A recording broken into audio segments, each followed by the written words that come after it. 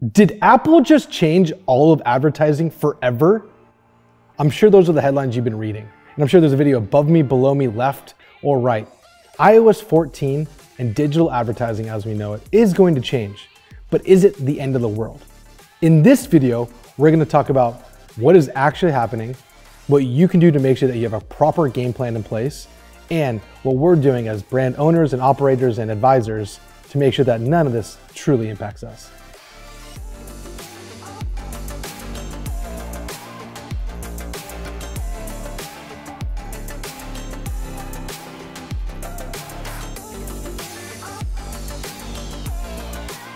Okay, so what is it? What is this iOS 14 update that Apple's gonna push, and why are all the social platforms and advertisers and brands freaking out?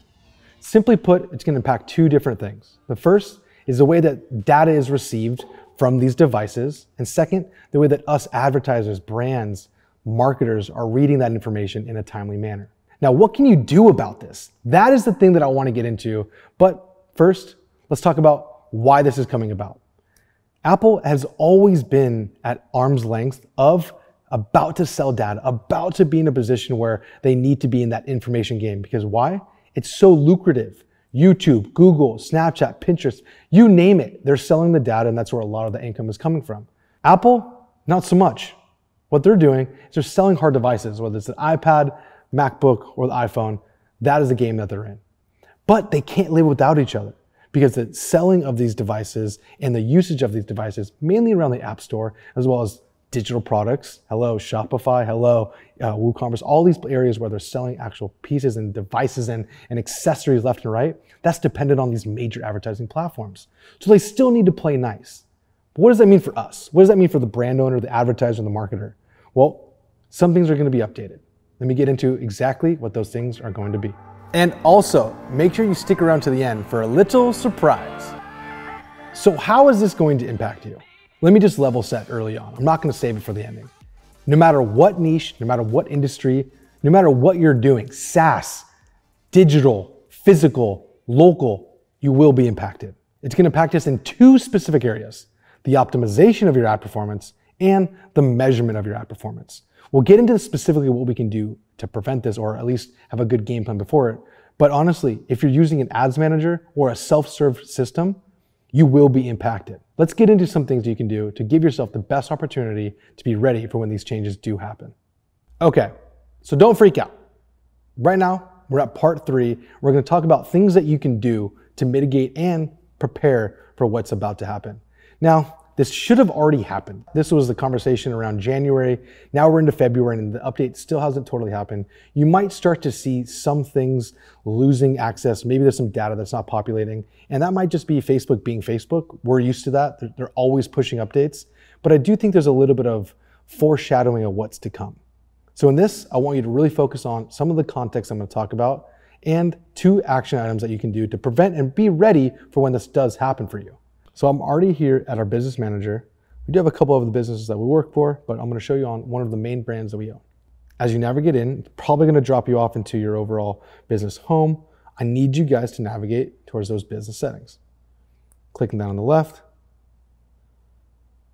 coming in. And now what we see is on the left side, a little bit of our navigation. So what I want us to do is go towards brand safety, select that domain. As you can already see, this business has already been verified. Now say we wanted to add a different one. Go ahead and go David Vaughn example.com. It would prompt us to use two different locations. Easiest way of doing this is pulling in the meta tag verification and dropping it into your actual homepage, which Shopify provides this, WooCommerce provides this, any of these platforms do provide this. I'm not positive on ClickFunnels, but ClickFunnels, anybody here that's an expert, go ahead and comment that below and help out the rest of your friends. So after this has been verified, it will look something similar to this. It'll turn green. You might have to wait maybe 24 to 48 hours, depending on how you've done it, if you've done it correctly. But if it turns green, you're good to go. Cool. So as you can see, the assets that are connected, pages, domain access, and it will show you who can edit this, what can make updates. Anybody can edit and add links. Any page can edit and add links to your domain of their Facebook ads. That way, if you have a partner, maybe an agency or freelancer running it, they're able to make decisions on your behalf, and you don't, you yourself don't have to go back and forth and do it. Next, is going to be prioritizing the pixel events. Probably the most crucial and critical one for you to do. You only get eight of these. It's different, it's new, but honestly, eight is not that much of an issue. You don't need more than eight unless you're trying to do some special custom conversions or you're optimizing heavily on value. You should be okay. Let me show you what that looks like. What's up, guys? Before we get back to it, if you're enjoying this video, go ahead and smash that like button. And if you have any recommendations on what you want to hear about Facebook ads as you're launching, getting started, let me know in the comments below. Let's get back into it. You're gonna hit the nine circles. We're gonna navigate toward Events Manager. Now, once Events Manager populates, you should see this new little button populating right here. Traditional view, there it is. Aggregated events measurement. And if we were to hit configure events, it would look something similar to this. So as you can see, David Vaughn, it's already been validated, it's already been verified. If I click in it again, I already have eight of these events already assigned. Now some of you, it won't look like five events. We're optimizing for value, so that does take up extra events. Even if you do custom conversions, it will take up a couple more events. So if I were to edit this, you'll get this nice prompt. Once Apple begins enforcing the app tracking transparency framework or the ATT, that little prompt that probably looks something like this, that's going to scare everybody into selecting out. That's my assumption, but I actually don't think most people will do it. If Facebook and Instagram can get their own prompt, which they are saying a lot about them doing right before this ATT prompt comes, I think we'll be in a better position because right now this wording is a little bit more harsh than expected.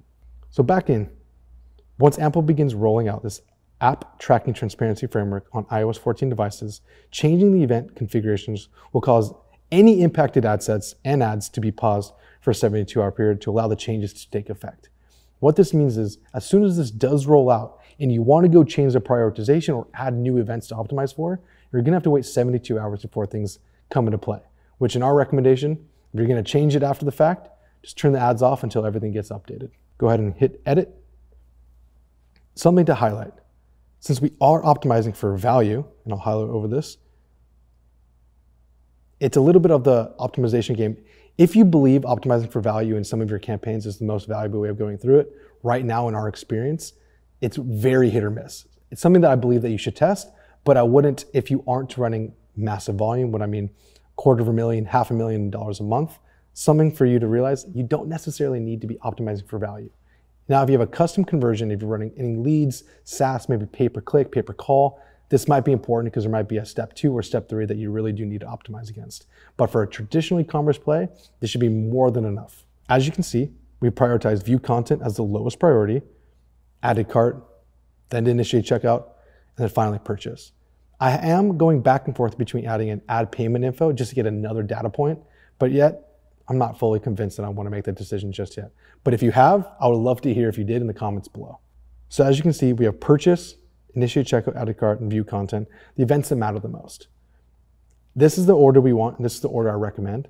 And if you did need to change it or make any sort of updates, and I needed to lower this down, it would allow me to do so. But right now, since I'm using all eight out of eight, everything is already grayed out.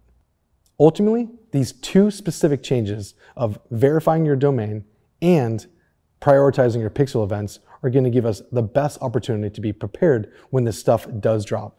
And honestly, like I said before, it's in February 2021 right now, and we still don't know when this is going to come out. They said it was going to happen back in January. And honestly, will it ever happen? I don't know, but everybody's still freaking out about it. Let me tell you exactly what I and my team are doing to prepare so that when this does happen, if this does happen, we're ready and we're going to be the first ones out the gate. All right. So, what are we doing to make sure that we're prepared, we're ready, and we're not freaking out? Well, that's exactly what we're doing. We're not freaking out. This hasn't happened yet, and there's a lot of chatter, especially across a lot of my friends and, and those are in the industry. Nothing firm has happened. So, we're definitely not buying software tools that are going to give us server to server communication. That's one thing we're not. Now, we're taking business calls and we're taking calls with the Hyros, the GetLavars, the Wicked reports, we're looking at these data tools that are give us a nice bigger picture of attribution, but we're not freaking out. Educating ourselves. What I recommend for you, which is probably why you're watching this video. Second, we're doubling down on understanding what creative is going to work. It's crazy that we're in 2021 and we're having to discuss the importance of understanding and analyzing specific elements of creative that drive revenue consistently. It really is a puzzle. It really is a mathematical equation with a nice creative element towards it. So what I do recommend is understanding and breaking down the type of content that we're running towards. Now, this means the type of content shot, the duration of the content shot, the models or people used in the shot, the structure of the ad itself, the duration, the placement of the ad.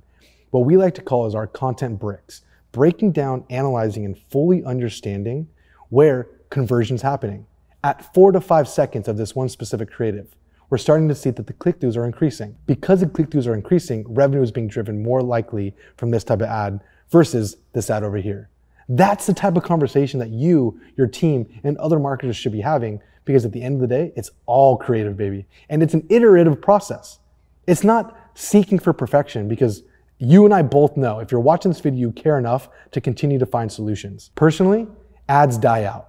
Ad fatigue is real, but a concept is forever, especially if you can keep reiterating upon it. So, what I like to say is hire a designer, get to know their style. If not, Use a service that are able to give you more iterations, more variables consistently, as constant as you can get it into your system.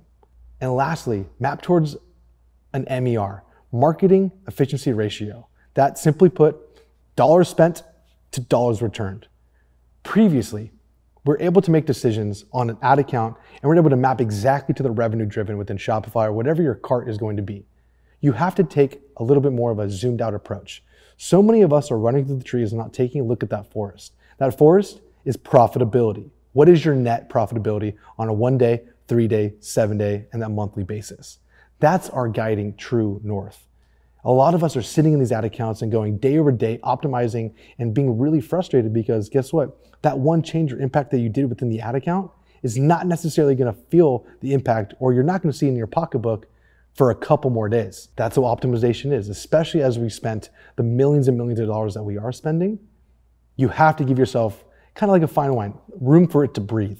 Launch your test, understand your decision making metrics, making good decisions, that MGD, and begin to optimize. If you want to learn a little bit more about how we're doing all this stuff, go ahead and click the description below because I guarantee you you'll learn one or two things. If not, come back and leave me a comment. I'd love to do some more education for you. Let's take a breath together. You're going to be okay. The digital advertising world has existed for a long time and it's going to continue to exist. So for you right now, go ahead and put those domains verified. Prioritize your pixel events and get to learning your creative. Those are the three areas that I think will give you the best opportunity to weather anything that's coming down the line. Hey, and guess what? If you need some support, if you need someone to listen to you, if you need a shoulder to cry on, I'm in the comments below. Hey guys, I hope you enjoyed that video and learned heaps from it. And if you did, I'd love to invite you right now to see my free training with Foundr. I'll be teaching you how to get started with Facebook ads. I'll be revealing everything I've learned from spending $100 million on platform. And all you have to do is click the link in the description and I'll see you inside. Hey guys, hope you're loving our videos and that you're getting heaps of value from them. If you are, make sure to hit the like button and make sure to subscribe to join the Foundr fam. If you did enjoy this video and want to continue to master your skills, make sure you click here to access your free training now, we'll go into way more depth with this founder.